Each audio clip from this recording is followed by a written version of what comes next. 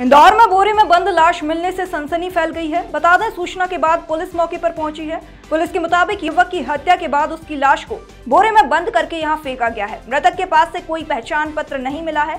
फ़िलहाल पुलिस पूरे मामले की जाँच में जुटी हुई है। इंदौर के एरोड्रोम इलाका पुलिस को स्थानीय लोगों ने सूचना देकर बोरे के बारे में जानकारी दी। मौके पर पहुँची पुलिस ने जब बोरा खोलकर देखा तो उसमें एक 40 वर्षीय व्यक्ति का शव मिला। शव से काफ़ी बदबू आ रही थी। शव के हाथ पैर बंधे हुए थे। पुलिस ने शव को पोस्टमार्टम के लिए अस्पताल पहुँचा दिया है। फ़िलहाल मृतक की शिनाख्त नहीं हो सकी है। इधर पुलिस का कहना है कि मृतक के शरीर पर चोट के निशान मिले हैं, जिसके बाद हत्या की घटना से इनकार नहीं किया जा सकता है। पुलिस के मुताबिक इस शख्स की हत्या कहीं और की गई है और उसके बाद शव को यहाँ लाकर ठिकाने लगा दिया गया है।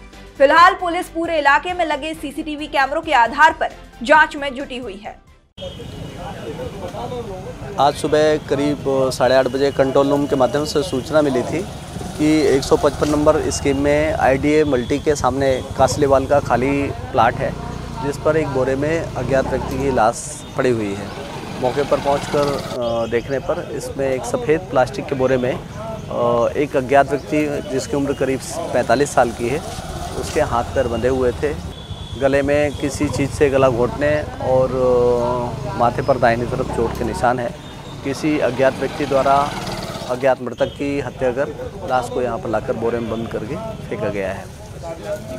अभी तक आसपास के क्षेत्र के लोगों को बुलाकर अभी शनाख्त कराने का प्रयास किया गया है। अभी तक शनाख्त नहीं हो पाई है और जो हमारी टीम है, वो चारों तरफ़ प्रयास लोगों से संपर्क करके अज्ञात व्यक्ति के बारे में पता साझी करने का प्रयास कर रही है।